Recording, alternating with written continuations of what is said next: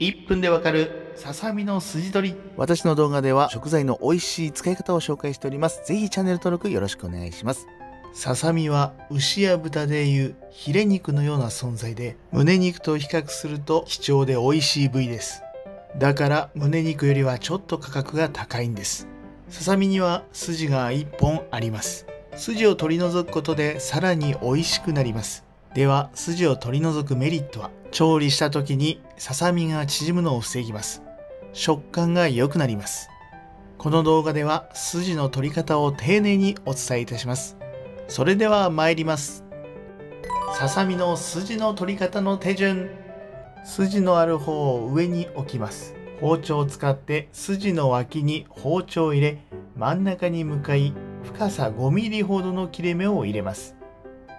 裏返し筋の端を手で持ちます。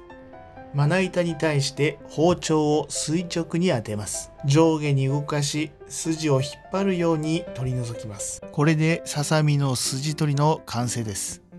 ここで簡単で美味しいレシピの紹介です。ささみを2枚にすることで薄くします。塩を振ります。